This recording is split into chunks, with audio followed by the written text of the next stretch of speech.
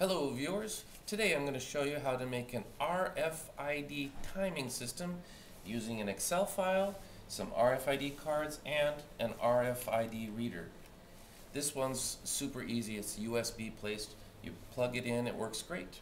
How does RFID work? I'll switch to Word and I'll take my card and I'll just touch it close to the reader and on screen a number will appear. That's my card A. Here comes card B, and it has a different number that shows on screen.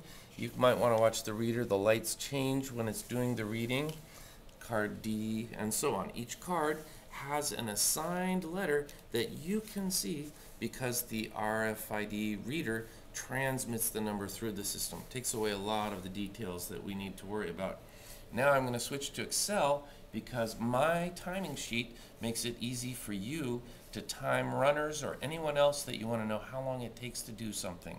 So uh, my first screen is that I have to match the card number with something to display. I just did A, B, C, D. You might want to do real people's names if they're the same users all the time. And on the bottom tab, I'm switching back to my interface. And runner A is ready to go. They will run by, press their card to the reader, and it starts off their race. Here comes runner B. They press their card. They're off to the race. Runner C comes by. They touch. They start their race. Now let's just pretend runner A has come home. Runner A is done. They touch and they get their time of 17 seconds. Here comes runner C.